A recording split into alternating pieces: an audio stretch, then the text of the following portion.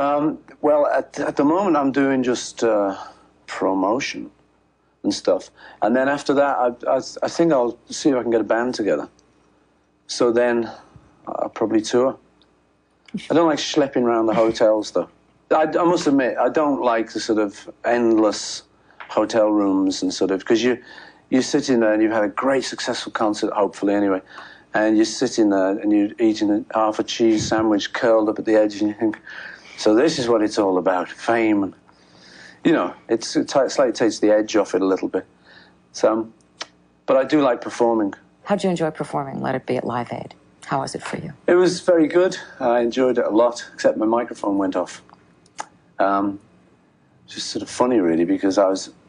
It was very. It was kind of loosely organised the show, and but because it was for charity and because it was all going to do such a great thing, um, uh, nobody seemed to mind really. So I just found the piano. It was the first I'd seen it. Said, "Where's the piano?" Someone said, that. So I kind of found that and sort of sat down and thought, you know, time to go. so our roadie kind of went, eh, go. okay. Ha! So I started off, you know, and I couldn't hear anything. Oh, oh. I thought, well, wait a minute, should I stop? And I, I noticed the monitor wasn't working near me, and that's not unusual, really. So often those things don't work. So I thought, no, this is the BBC. This is world coverage. They're bound to have it. Someone's got it, you know, on another feed. This is bound to be on. I thought, I can't stop in front of all these people. So I'm going away. And I hear the audience go, hey! On one of the lines, I think they've got the significance of that line. Good. Turned up the only line they heard. I, know some people who were at the uh, Philadelphia concert, and they said, we didn't notice. Sounded like the mic was on to us. So I was lucky, really, to get away with that. And in fact, I did an interview with some fellow the other day. He said, it was, he was German. He said, we saw that was a very warm moment. Human. I said, well, that suits me. Human. Put it down to human. You recently performed at the Prince Charles Charity Trust. Yeah. With Tina Turner singing Get Back. That must have been exciting. That was great fun. The mic stayed on. so that was really a plus. Um, that was really brilliant. I, I really enjoyed that show. Because um, they kind of said to me, You're going to do it at last minute and stuff. And I said, Well, I haven't got a band. They said, We've got one. And we got Phil Collins, Elton John, and Knopfler, Eric Clapton, millions of great people. A lot of the people I admire. And so that was something you just wanted to be at, you know, and it was kind of honor to be asked. So I did Saw Her Standing There and Long Tall Sally, and then they threw in Get Back when, when we arrived, when I arrived on the day. They said, let's do Get Back. I said, I don't know the words. so that was quickly sent out for a, a song folio. Jojo words, that's it. Yeah, I've got it now. And then Tina sings the wrong words anyway. She doesn't care. She sings Sweet Loretta Morgan. It's Martin, Tina. I didn't, I didn't tell her on the day. I thought, well, it sounds good. Morgan, Martin. It's a difference.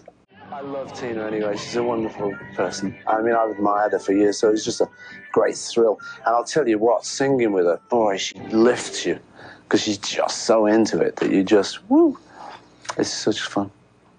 A lot of the people that you started out with in the 60s are very hot right now. Eric Clapton, Steve Winwood, the Moody Blues. These are not 18 year olds that are, you know, number one. Are you, are you surprised to see that?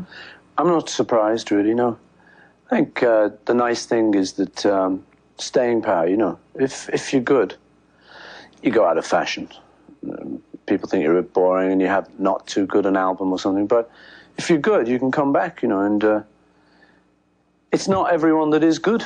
You know, there's a lot of people aspiring to be good and stuff.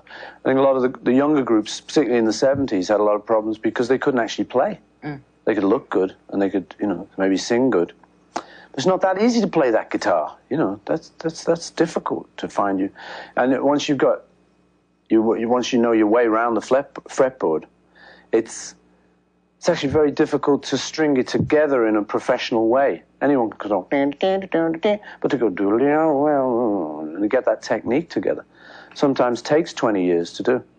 Um, it's it's very helpful, you know. To me, it's it's very good. They're very supportive in my life. I keep expecting, you know, with kids, you keep expecting them to turn around and sort of say, "Oh, you know, your music stinks. We're into this," you know, which you do expect. and everyone uh, expects it too. The interviewers always sort of say, and you know, do your kids tell you they don't like your? But um, mine seem to be very supportive, and they, they seem to like their old dad. You know, What which about is great. what about being married for 17 years? What about it? That's pretty incredible Yeah, for anybody. Guinness Book of Records time.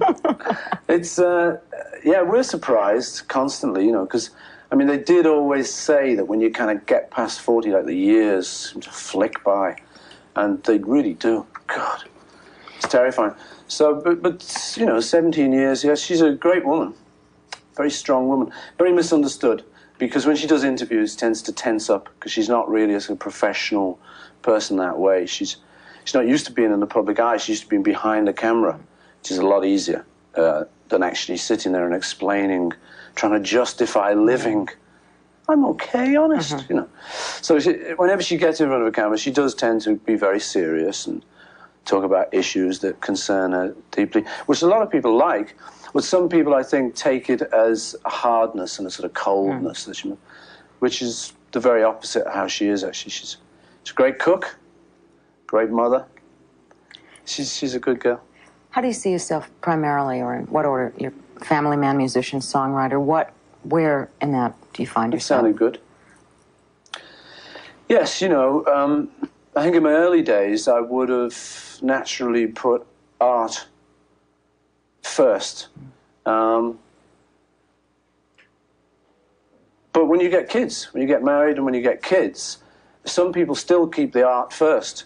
But then where does that leave the kids, you know? And they're kind of living, breathing, real uh, people, you know, and they need attention. So I always put them before music, really, much as I love music. If it's a choice, there's, there's, there's no contest. Do your kids sing with you at all when you travel?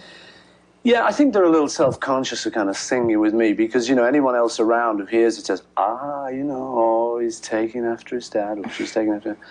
But they've each, one of them, they can sing, they can sing in tune.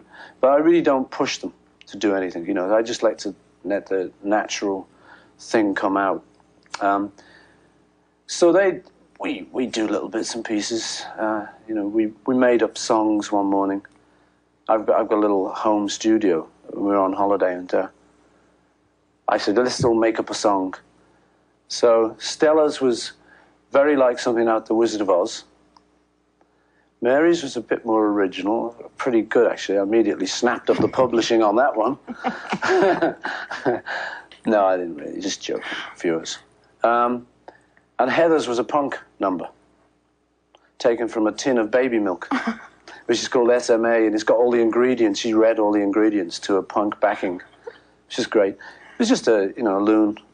What if they come home and say, Dad, we want to be rockers, we want to be punkers, put razor blades in our nose? They've done it already. This my 23 year old went through a phase of uh, punk, which you've got to allow. You know, you can't say, "Hey, no," you know, you can't grow your hair long and stuff because that's what we went through. So I always knew when when that came up, I'd have to like allow it. Doesn't mean you're going to like it or not worry about it because.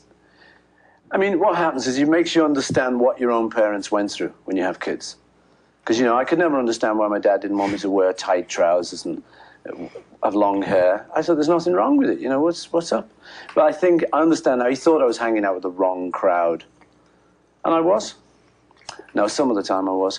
But um, it was really harmless. It was a fashion. It was just a look, you know. And when Heather got into it, at first, we were a little bit um, worried about what it might lead to. I don't know, traditional parents. Whereas you can't help it. You think you're going to be madly liberal, but then it happens, and you go, oh. So, um, but the great thing was, all her friends used to bring around were real sweeties. They were like animal lovers and very interested in conservation. And you think, well, you've got pins in your nose. You can't be into, into that. They're really nice, you know. It was surprising, actually. Again, it was just a fashion. Kids are just the same. Do you look for their approval musically at all? I mean, do you actually seek Their them out? approval. Yeah. I don't actually look for it, no. I mean, the only approval I really look for is my own because it's the only way to do it. I've tried it every which way, you know. And it really is the only thing that counts is if you like it, then you can give it to the world. And, and at least when the critics say it's a bunch of rubbish, say, well, I like it. And as long as you're convinced you do like it, Um, that's the main thing.